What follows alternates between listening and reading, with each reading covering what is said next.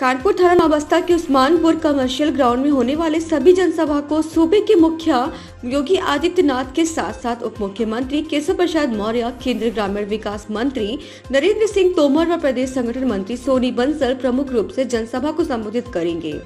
जनसभा में लोगों को नागरिकता संशोधन कानून के प्रति जागरूक किया जाएगा। इस जनसभा में करीब 22,000 से 25,000 लोगों की भीड़ आने की संभावना जताई जा रही है। मुख्यमंत्री योगी आदित्यनाथ सुबह साढ़े दस आरोप कानपुर के सीएसी ग्राउंड पर हेलीकॉप्टर से आगमन होगा।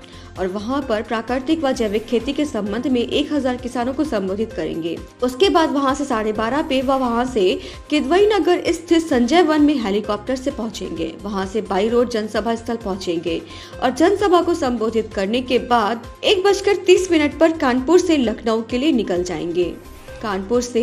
हिमांशु श्रीवास्तव की स्पेशल रिपोर्ट आज नवस्था कमर्शियल ग्राउंड में खड़ा हुआ हूँ। जैसा कि आपको बताते चले कि यहाँ पर कुछ ही देर देरी बाद बारह बज के तीस मिनट पर यहाँ पर योगी आदित्यनाथ आएँगे और देखिए किस तरह से तैयारियाँ हो रही हैं। स्टेज आप देख सकते हैं, जो कि तिरंगे से सजाया गया है।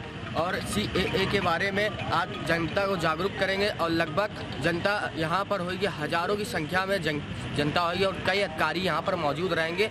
और सिक्योरिटी की बात करी है तो सिक्योरिटी आप देख सकते हैं किस तरह की सिक्योरिटी लगाई गई है। और जो, जो सिक्योरिटी लगाई गई है कानपुर शहर में बहुत ही ज़्यादा सिक्योरिटी लगी है। और यहाँ पर सी के लेकर जनता को जागरूक करेंगे। और कानपुर से जो देखा जाए, कानपुर में पहली जनसभा, एक सबसे बड़ी जनसभा है, जहाँ पर योगी आदित्यनाथ सीए को लेकर के बताएँगे। कानपुर से हिमांशु श्रीवास्तव की रिपोर्ट, इंडियन प्राइम न्यूज़।